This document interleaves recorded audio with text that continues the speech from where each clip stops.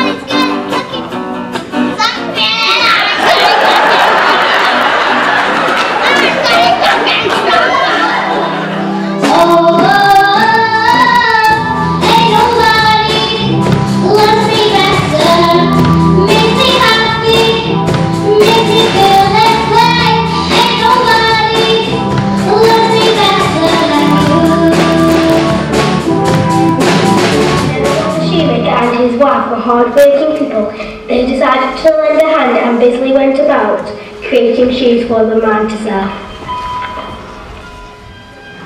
Having made enough shoes, the elves decided they needed a break.